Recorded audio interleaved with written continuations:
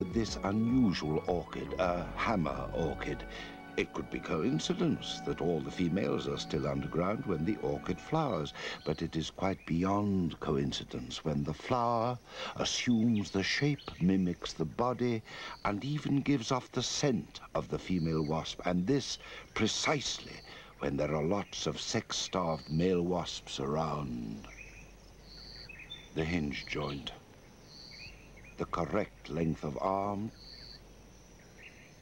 a glistening sticky pad between two yellow pollen sacs at exactly the right distance from the dummy wasp must have been grown with incredible accuracy. It is perfect for a bizarre coupling of wasp with flower.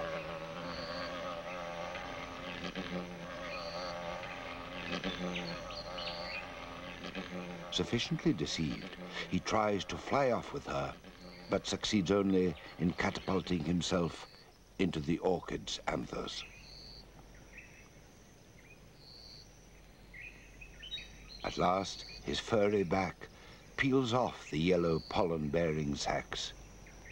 He gives up and tears himself free.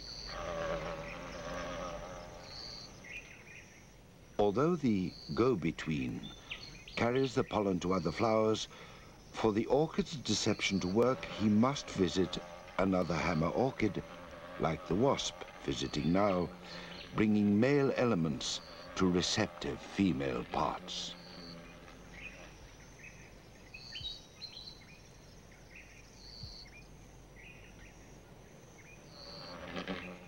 With pollen crushed into its stigma, the hammer orchid is fertilized.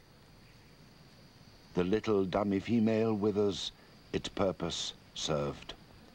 The orchid's meager resources are now required for the swelling seed pod. The deception has worked perfectly. But does it always? If a female wasp mistimes her entrance, is around before all the orchids are pollinated, or if the orchid flowers late, is he fooled?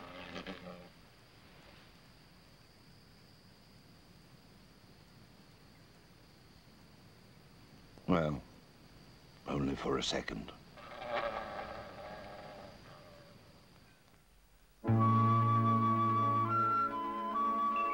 It would be hard to visualize a world without the beauty of grasses.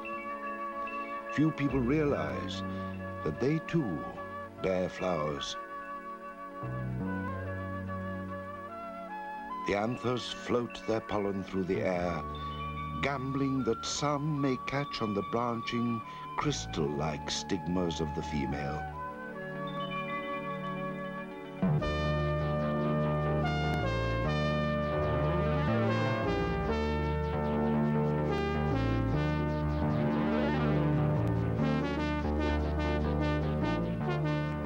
For grasses and most trees, sex is borne on the wind huge pollen clouds breathing life onto everything.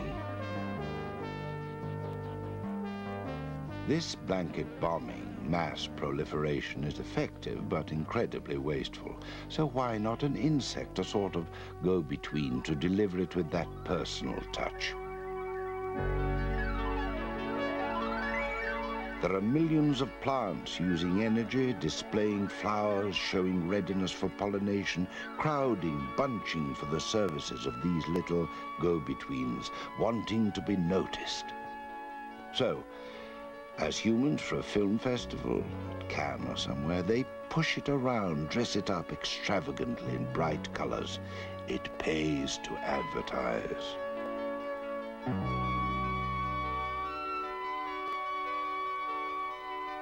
Myriads of eye-catching shapes, designs and patterns, as blatant and gaudy as Piccadilly Circus. And the insects, bewitched and bedazzled, wondering whom to call on next, are given clear indications in their ultraviolet vision exactly where to go.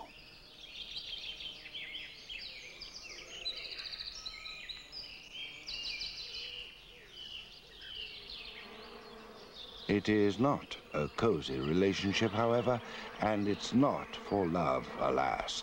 Flowers must pay for service, the hard cash currency of insects.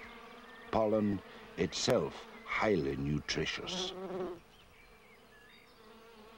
Nectar.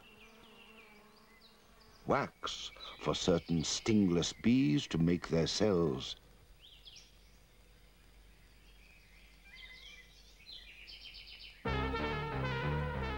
Or the plant can deceive its visitor by making the false offer of sexual satisfaction. It is said that the first biologist to discover this Australian ichneumon wasp actually releasing sperm into a flower didn't dare publish their findings.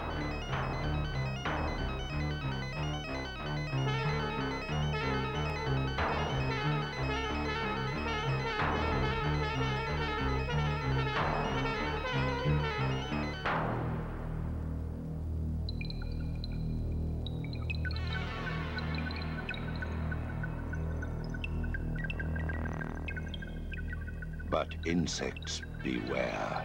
You are being used. For there is a certain flower with which any association, however casual, can lead to certain death.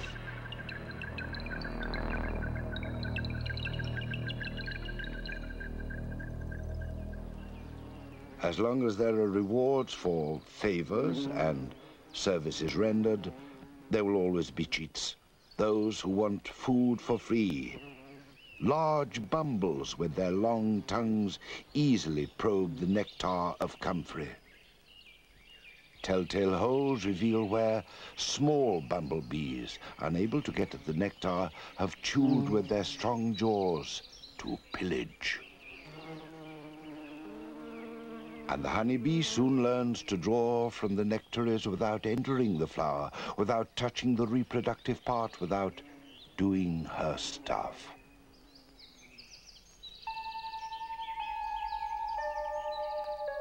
So plants have developed quite amazing defensive strategies.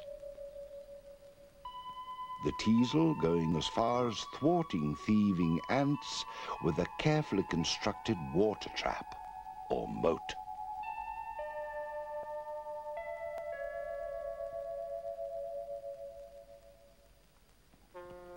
Or consider this ginger. It actually employs ants to guard the flower against plunder by the wrong visitor. And they are paid from nectaries evolved especially for the ant's use. Give a little, take a little. There's a rationale.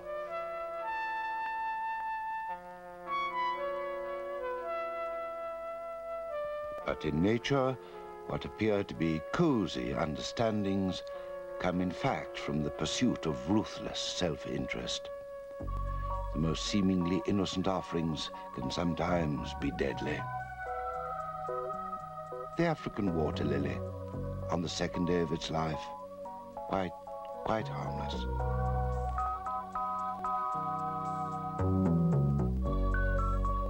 And what a feast! Hundreds of stamens, all capped with pollen, like giant lollipops.